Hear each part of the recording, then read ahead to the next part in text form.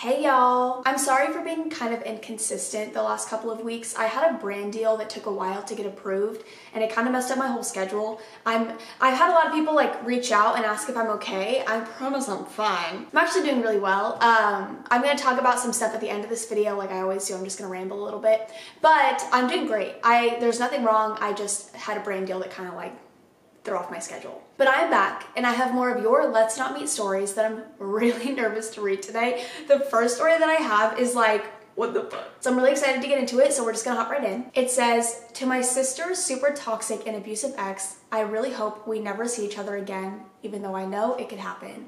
So I'm definitely going to apologize now. The story is going to be very long, having taken place over at least three or more years. Also, this story for the most part is mostly secondhand from my sister, so some things may be wrong. For the sake of the security and privacy of the people in the story, I will be using fake names and won't name any locations. Trigger warning, the story contains mention of mental and physical abuse, suicide, and the R word. Nothing happens, I already read that part, nothing happens, it's just a mention of it, so if you're okay with just the mention of R word, nothing happens, I promise. Unless I missed a part of the story, but I'm pretty sure I skimmed over that part to make sure that this was like okay to read. If there's anything else in here, I'll put a different warning, um, and I don't go into detail ever about that kind of stuff, but I'm pretty sure it's just a mention of it. My sister, let's refer to her as Kay, has never had any luck when it comes to dating. She dated a close friend in high school and broke it off with no hard feelings, dated another guy in college for two months before breaking up with her two days before Christmas. Kay never liked showing her feelings, and this will definitely come in handy later on in the story. During the spring semester of her first year of college, she finally met someone that she really liked, and honestly, everyone in my family, myself included, really liked him. I've always been able to tell the vibes of a person just by being near them for a certain amount of time, and he seemed like a really nice person. Let's call this guy John. He was your typical country guy, liked hunting and fishing, chewed tobacco, the works. But as far as we knew, he was a really nice person.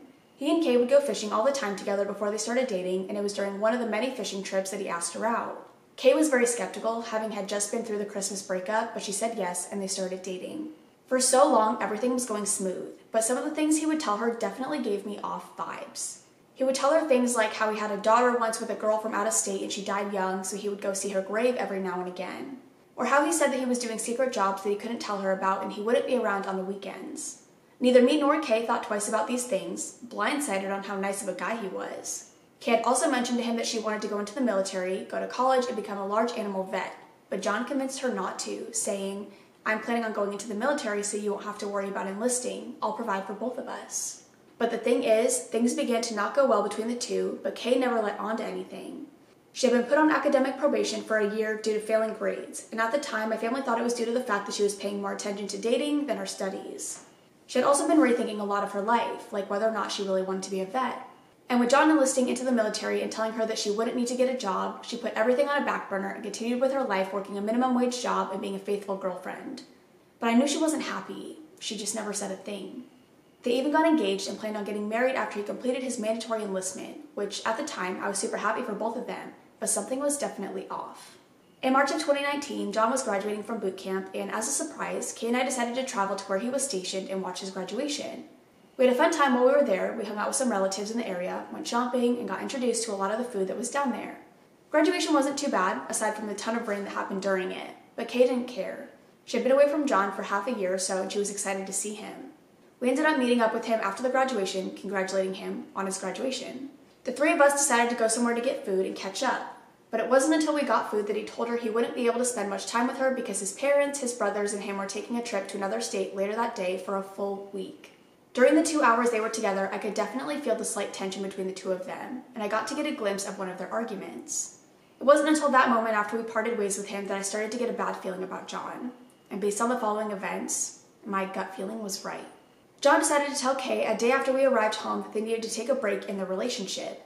He began saying things like, What happened to you wanting to enlist in the military and getting your life together? I've got my life figured out. Why haven't you? And I thought you were going to start losing weight. Clearly you haven't. These things went on for a full week, and Kay completely shut herself down to the point that his best friend, I'll call him Ethan, began to invite her places to cheer her up. He also kept her up to date on some of the sketchy things he was doing while they were on break, because Ethan thought it wasn't right.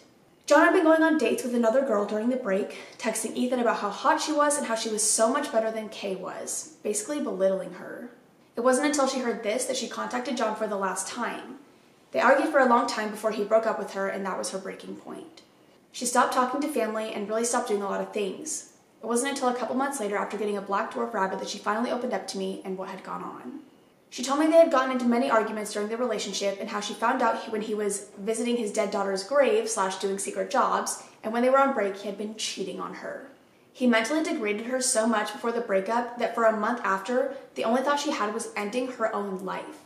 She told me that she had gotten her pet rabbit as an emotional support rabbit to help stop the thoughts, and that her rabbit was the best thing that has ever happened to her.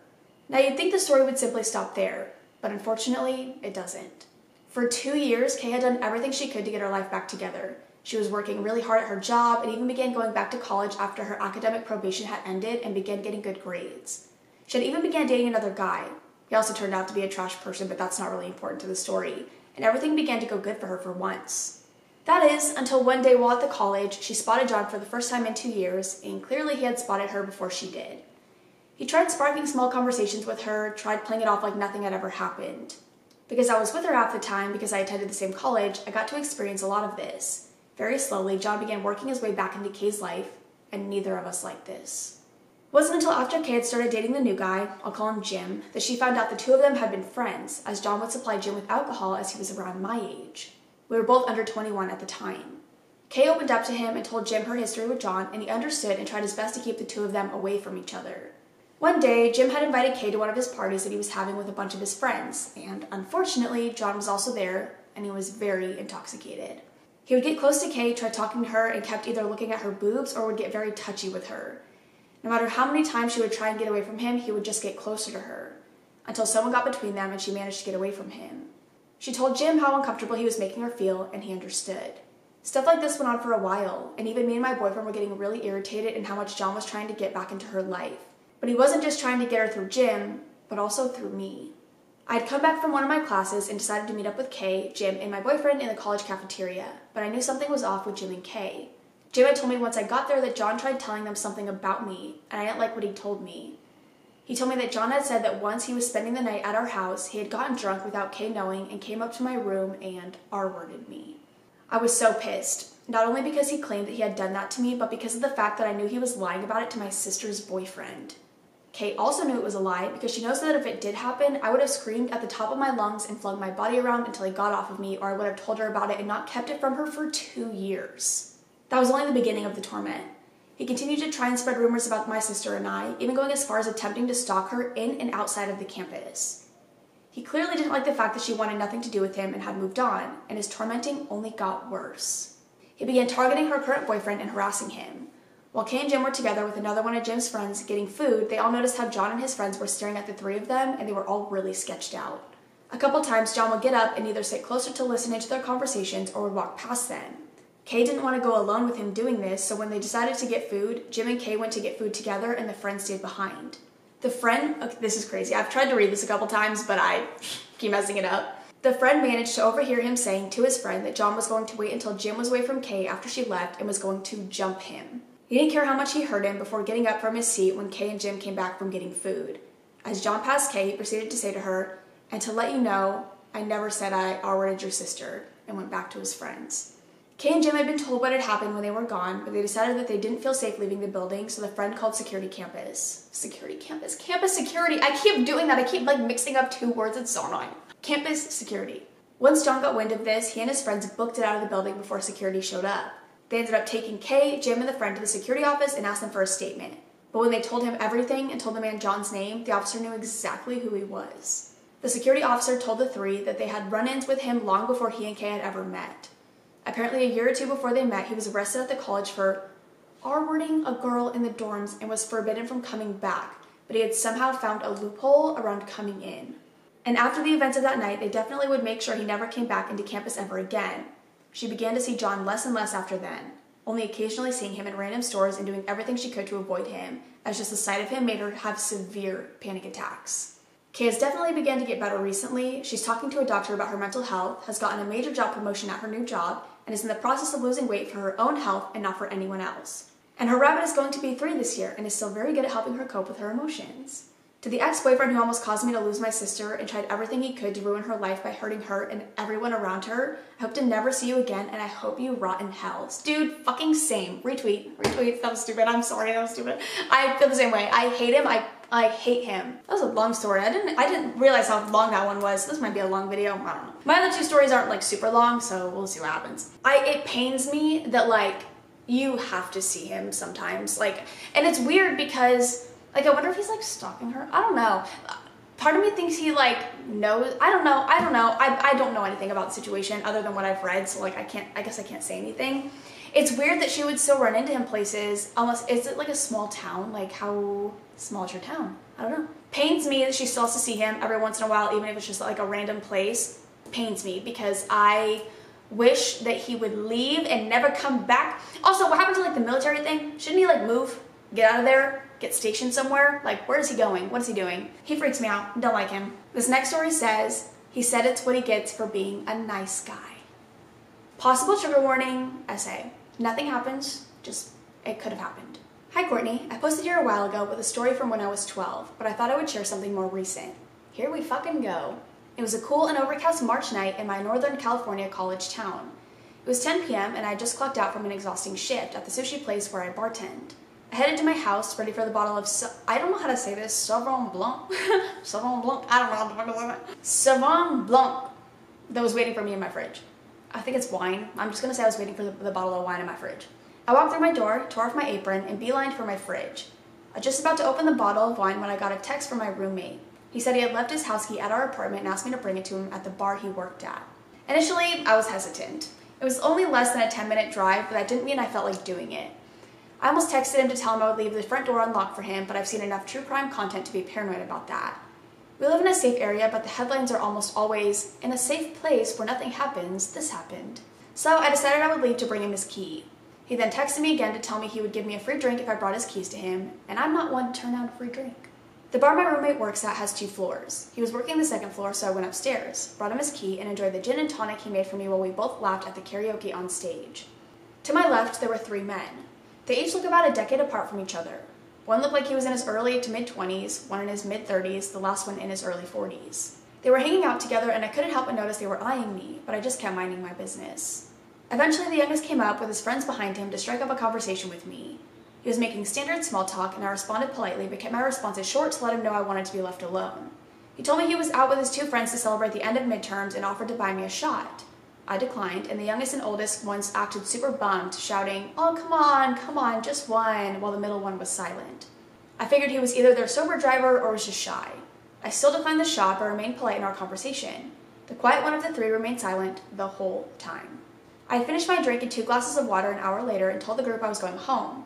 Two of the men asked if I needed them to walk me to my car, and I was about to say no, and the quiet guy out of nowhere just says, I'll take her.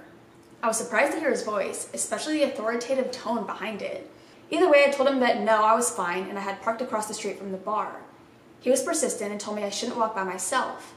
I again told him I was fine and said goodbye. I walked away, but he walked along with me anyway. You really don't have to walk me, I said. I want to, he replied with an ominous voice. The tone almost sounded possessive, low and husky. I started to let him walk with me despite my reservations, that is, until we got to the bottom of the stairs. Suddenly, all I could hear was pounding in my eardrums. My sternum got hit with a freezer burn, dry ice sensation. We were in a populated place, but I felt the urge to start kicking and screaming. My hair stood up on the back of my neck as a passing thought said to me, If you let this guy walk you out, it will be the last time anyone sees you alive. I stopped and said, I've got it from here. He responded, No, let me take you to your car. I replied, No, I really got it. He started to say he would take me when I interrupted him, saying, No, I don't want you to take me. He looked taken aback and said, Well, I guess that's what I get for being a nice guy. I just told him to have a good night and I left. I got to my car, and once the adrenaline wore off, for some reason I started sobbing. I just kept thinking how scared I was in the situation. I got back home and I wondered if I was being overly dramatic or if I was being mean to this guy. Maybe he really did just want to make sure I was safe. Was he a silent psychopath or a gentle introvert? The next morning, I log on to Facebook. There's a page I follow that reports on local crimes or incidents, and as I log on, they're at the top of my feed. A man had been arrested for sexual assault the night before. I scrolled down and almost threw up when I saw the mugshot of the man who tried to walk me to my car the night before. He had committed the crime a mere hour after our interaction. So dude who said he was being a nice guy, let's not meet again, you piece of shit. Dude, when I read that story, I, I read almost that whole one before the video, which I typically don't do, but I read almost that whole one and I was like, you are joking. You're joking. Like, it's crazy how right your gut instinct is. It's just fucking insane. I don't know. I just, I thought that story was crazy. But this last one says, the group of men that tried to kidnap me at my job at 17, let's not meet.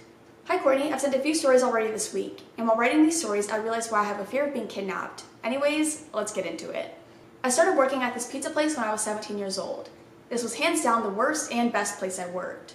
The coworkers were like family, but customers made your life hell.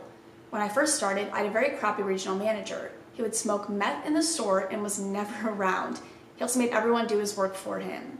Anyways, he would disappear from the shift all the time, for hours. I would always end up finishing the shift and doing my closing list and end up leaving before he would get back all the time. It was frustrating because he would leave at the worst times, like this one. One night, I was serving and a group of men came in. There was about four of them. They were very flirtatious, but I didn't mind at first. Then they started taking pictures of me. They also whispered among themselves while pointing at me. I then started getting really freaked out. It wasn't like they were sneaky about it either. I went to tell my manager, and he was gone. All the other coworkers were teenagers and I was the oldest one. I decided to ignore them. I know, dumb, but I was scared. The whole time they were there, they never stopped looking at me. They also didn't speak English very well, so if they were talking about me, I didn't know. They then left after a while. It was about two hours after closing, I was finishing up and I went to text my dad that I was coming home. I figured I'd be finishing something up in like three minutes and be out the door. The thing about my dad was that he never slept until I got home. He waited for me every night. I was the last person there and I grabbed my things and walked out. I look over at my car to see the men from earlier. They were parked in a car next to my driver's side door. They didn't see me yet. I tried to unlock the car from the passenger side, but I couldn't. I then decided that if I walked quickly enough to the driver's side, I could be able to go. My heart was racing. I knew they were there for me and only me. I tried to be fast, but they were all out of the car in seconds. I quickly unlocked my door and one of them pushes it shut. They all grouped around me, telling me that they will give me a ride. I was literally crying at this point and they were just laughing. I said, no, I need to go home. I tried to open the door again and they slammed it shut again. I was freaking out. What did they want? I was trying to find a way out of this. I know I should have just grabbed my phone and called. But when your life is being threatened, you don't grab it. You fight or run. I personally decided to freeze. I stood there crying, trying to push past them to get back into the restaurant, but one opened the back seat door. The others were pushing me in. I don't remember what they were saying at this point. I was so scared. Oh my god, this is the most like, like what the, oh my god. Before I knew it, my father came blowing in the parking lot. They quickly let me go and got in their car and sped off. My dad got out of the car and came up and asked me what happened. I told him everything. He grabbed my arm and took me to his car. He wanted me to point them out because he didn't get a good look at their car. We drove around for a bit, but we didn't find them. Come to find out that I stalled the men long enough for my dad to get worried. He decided to come see what was taking so long and came to the store. My dad and I decided not to go to the police, more like I decided. I was freaked out. I told my manager the next day and he was pretty much not concerned. He bought a taser. That was it. I never saw the group of men after that. I don't know where they are or what. I still don't know what they wanted from me. So to the group of men that tried to kidnap me, let's never meet again. I hate that story. I absolutely hate that story. I started reading that one, but then I was like, I think this is gonna be good. So like, I don't think I need to read anymore. Hated that one. Hated that one. That is terrifying and traumatizing and everything in between. I hated that. I absolutely hated that. I'm gonna keep saying I hated that because I hated that so much. Bless your dad. Bless your dad. I love your father. Is he single? Just kidding. Sorry, that was stupid. But I, no, seriously, like that timing is impeccable. Like that is, oh my God. The fact that your dad just like knew something was up. That's what I'm saying. Your gut instinct is always right. Your dad knew something was up because you said you were coming home. You didn't come home. He was like, okay, something's going on. He got his ass there, saved your life. It's great. It's so crazy. That is all I'm going to read for now. I hope you guys enjoyed. If you have any other stories you want to share with me or the community, I will have my subreddit linked down below. I can't tell if this video is a normal length or if it's long. I have no idea, so We'll see when I edit it. Not really sure. Also, yes, different colors, but it's fine. I'm very pasty, I'm very pale. I'm trying not to self-tan. I talked about that in a video a while ago. Not a while ago, but it feels like a while ago. I'm trying not to self-tan anymore just because like, whatever. And But my makeup is a little too dark because I'm gonna go into this at the end. I'm gonna go. I love you guys. I will see you in the next one. Bye. What I was saying. So I have a foundation for when I'm pale that like pretty much matches like my natural skin tone I have to burp. I have a foundation for that, but for some reason, it's like, okay, because I have that foundation and then a tan foundation. They're the same brand, they're Wet n Wild. The tan one is amazing, but the like lighter one, for some reason, it makes my skin really dry and I don't have dry skin. It just, it blends really weird. I don't know why, because they're the exact same foundation. So I mix a little bit of the darker one with it to make it blend a little bit better. So it's a little too dark, but I, I don't think it looks like terrible. Like I don't fucking know. I wore it out last night, so hopefully it doesn't look that bad. But no, so I, yeah, I'm trying not to self tan, but I already talked about that. That's not what I want to talk about at the end of this. I wanted to talk about, um, I think I tell you guys too much. I think I tell you way too much. I don't know why I'm going to tell you this, but I'm going to. I started birth control. Uh, I've never been on birth control ever in my life. I am 27 years old. I have never once been on birth control. I've never once gotten pregnant, so I think I'm infertile. I don't know. Uh, I started birth control because everything going on in the country right now is kind of freaking me out. With the whole Roe v. Wade thing, I'm not gonna go into, I'm not gonna go into it, whatever. I don't care to go into detail about any of that, whatever. You guys know my stance. I'm sure you know my stance it's fine. If you know me as a person, you know my stance. So that's freaking me out. So I decided to start birth control just as like an extra precaution. Just to be safe. I don't want to have babies. I really don't want to. I don't want to have kids. I don't want kids. So, which is weird. So you know what's so weird? I was watching an old video of mine. It was from like maybe 2019. So like not, it's not terribly long ago. From a couple years ago. And it was a video with Kayla. Maybe it was before 2019 because I was still living in Texas. So I don't know what year it was, but that doesn't matter. It was a couple years ago. I had a video with Kayla where we did like the assumptions thing. If you guys remember that whole trend that went on, people making like assumptions about you. And I talked about how much I wanted kids. Crazy because I, if I got pregnant right now, I would, no, no, I don't want children. I do not want anything to do with children. I like my nieces and my nephew, but I don't want kids myself. I really don't. So I think that's crazy how much like you your mind can change. And maybe my mind will change again. I have no idea.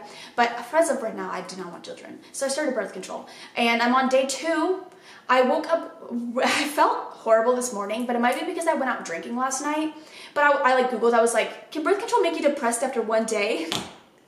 because I was like, holy shit, I haven't felt this way in so long. Uh, once I like got up and like got ready and started filming, I feel a lot better. But damn, I woke up this morning and I was like, whoa, haven't felt this in a fucking long time. Because I haven't been depressed in like years, it feels like. Like I haven't, I haven't felt my depression in a long ass time. That's why at the beginning of this video, I wanted to clarify that like there was nothing wrong. I just, my schedule got super messed up. Uh, over the last couple weeks. But no, I, I just, I started birth control. That's all I wanted to tell you. I don't know. Uh, they don't mess with my medications, my other medications, my psychiatrist like checked on that to make sure that it wouldn't be like killing me. But yeah, that's all I wanted to say, I guess. Uh, just a little update on my life. Um, I have my specialist appointment with like an either endocrinologist or rheumatologist, don't know which one it is. Uh, I have that appointment on the 15th, so hopefully I'll get more answers like next week on my health because I'm still really tired all the time. Really tired all the time sleep a lot. So hopefully I get some answers on that. I think it's just, I think they're just gonna do blood work and whatever. Um, but hopefully they'll find something. I hope they find something. I know it sounds weird to like hope that they find some, I'm, what am I rambling about? Like I've been rambling for so long. I hope they find something so that I have answers. I, I don't want there to be anything wrong with me, but I, at the same time, there has to be something wrong and I would prefer if they like figured it out quickly. I don't know.